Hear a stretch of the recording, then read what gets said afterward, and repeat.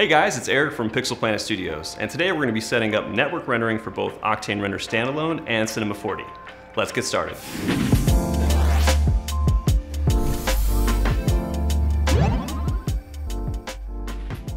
So the major benefit of Octane network rendering is speed. If you go ahead and add a second render node, uh, it will cut your render time in half with the same card. And the other benefit is if you're in a small studio with multiple workstations that aren't being used on nights and weekends, you can improve your pipeline by utilizing those machines uh, while everyone's out of the office.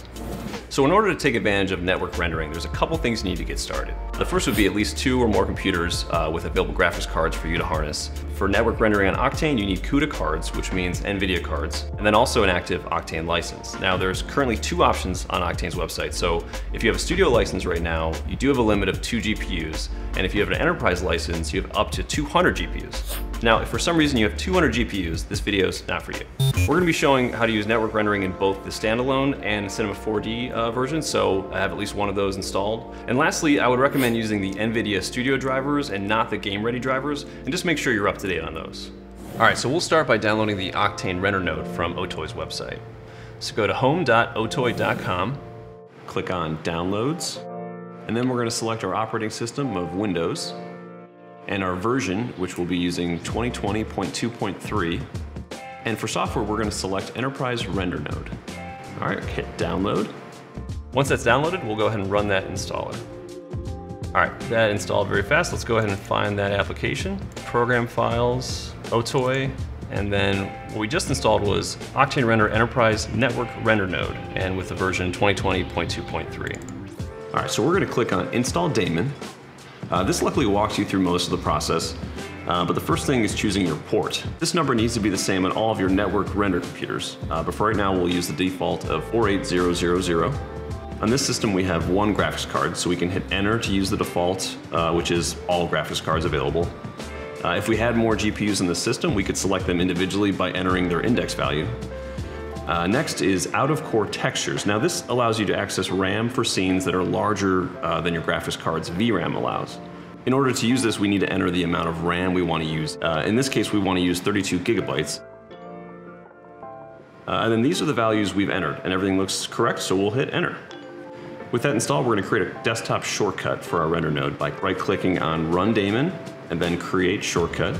By default, this daemon will actually launch on startup, uh, but if you disable that, this shortcut will allow you to launch it without digging through program files.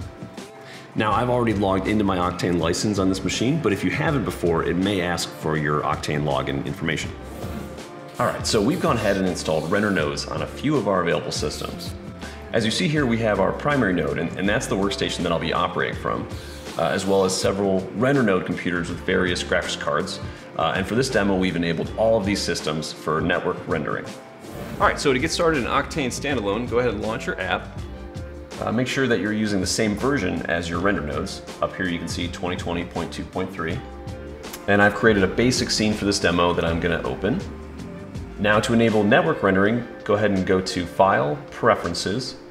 On the left, select Network Rendering and then we're going to click Enable Network Rendering and make sure that the port number is the same as your render nodes. And now your available render nodes will appear in a list at the bottom of this window. And we're going to make sure that they're all enabled. All right, now I'll hit render.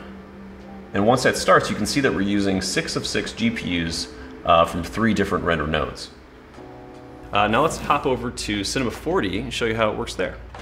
Uh, with the same demo scene loaded, uh, there are two ways to render uh, with Octane network rendering in this application. The first is to use Live Viewer.